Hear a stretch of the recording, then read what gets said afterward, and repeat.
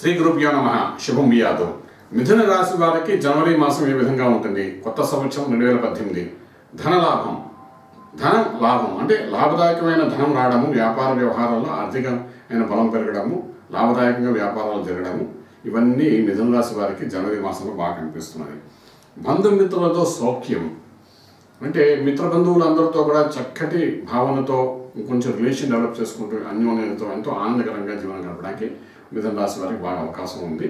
జాతకం ఆ విధంగా చెప్తూ చెప్తామన్నమాట తర్వాత ఇంకొకటి అంటే విద్యా గోష్ఠి పరోపకార ఇది కాకుండా ఏంటంటే కించిత దేహంలో ఇబ్బంది కలిగినప్పటికీ చదువు మీద ఉన్నతమైన స్థాయికి వెళ్ళాలనుకున్న వాడు చదువు మీద కాన్సన్ట్రేట్ చేసే వాళ్ళకి కాంపిటేటివ్ ఎగ్జామ్ రాసే వాళ్ళకి మాత్రం అద్భుతమైన ఫలితాలు వచ్చే అవకాశం బాగా కనిపిస్తున్నాయి. వచ్చే నెల అంటే జనవరి నెలలో మనకు కనబడే విశేషమైన స్థితిని చెప్తామన్నమాట.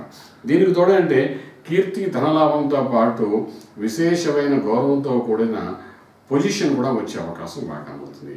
ఎవరికి ఇదంతా అంటే రాజకీయ రంగంలో ఉన్నవాడు అనుకోండి వ్యాపార రంగం అనుకోండి రియల్ ఎస్టేట్ అనుకోండి లేదంటే ఫిలిం ఇండస్ట్రీలో ఉన్నవాళ్ళు కానీ వీళ్ళందరికీ ఒక ఉన్నతమైన స్థాయి.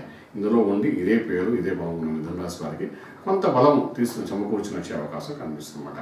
తర్వాత మెడికల్ రంగంలో ఉన్నవాళ్ళు హోటల్ ఇండస్ట్రీలో ఉన్న వాళ్ళకి ఫార్మా లైన్లో ఉన్న వాళ్ళకి పాల వ్యాపారం చేసేవారికి ఇటువంటి లఘు పరిశ్రమ చేసేవారికి కూడా ఆర్థిక బలం బాగా పెరిగే అవకాశం మిథున రాశి వారికి ఈ నెల మాత్రం మహా అద్భుతంగా అనుకున్నది అనుకున్నది సాధించేటట్టుగా మానసిక శారీరక ఒత్తిడి నుండి బయటపడుతూ రాజమార్గంలో ముందుకు తీసుకునే అవకాశం బాగా కనిపిస్తుంది.